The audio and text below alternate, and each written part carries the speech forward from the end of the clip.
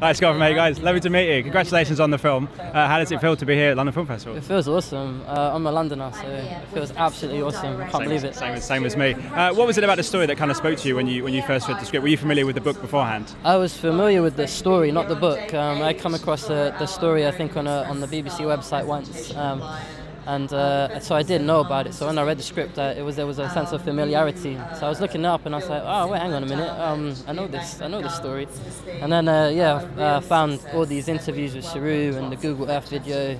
So I start choking up and reading the script and like start crying and you know just trying to be trying to be normal, trying to be cool, but just the emotions just kind of affect you, don't they? Um, and then uh, I was asked to read for Mantosh, and uh, that was like really really heavy, like um, who he is and and then having to meet him in real life and um, you know trying to be sensitive about it all. I was going to ask you. You obviously you met him in real life. What was that experience about meeting him? And uh, did you meet Saroo as well? Uh, met Saroo, uh, met met all the uh, the whole family, met the entire Bri- Rileys. Um, had a cup of tea with uh, Sue one day. Uh, so the whole family, mum, dad, um, Sharu, Mantosh, uh, they all came and met us one day. And we were having a barbecue that Garth, the director, threw.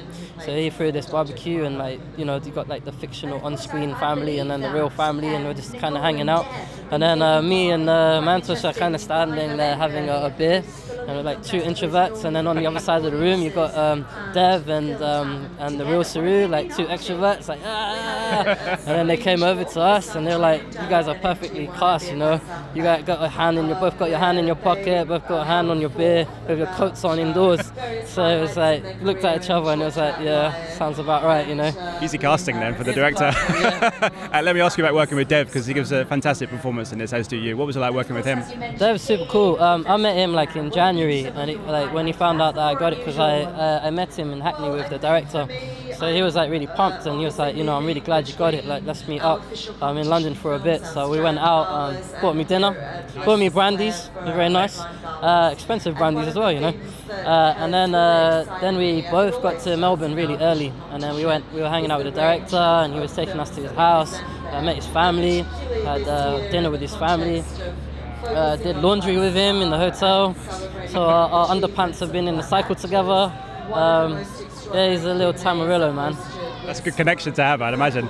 Yeah, yeah. So next time he's in London, he's like, hey man, let's go for those expensive brandies again. Uh, obviously, based on the true story, you talk about Mantosh here, then when you throw in Nicole Kidman, Academy Award winning Nicole Kidman, working Mm. Yeah, with her, what was what was that like? It was kind of surreal. Like I still don't really believe it. You know, like when I see her, I get really nervous. It's like it's almost like meeting royalty or something, like Hollywood royalty. So, but yeah, I'm very awkward around her. I try to play it cool, but I don't think it really works. Uh, after this one, what's next for you? Where do you go from here? Uh, at the moment, I'm doing a play in Hitchin. Actually, uh, I'm doing um, well. Actually, uh, it's kind of similar, but it's set in 1947 during the partition of India and Pakistan. Um, it's called Child of the Divide, um, and it's about a boy that gets lost.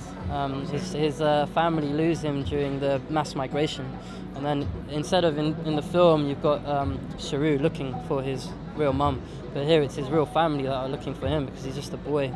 Um, so kind of different, but similar.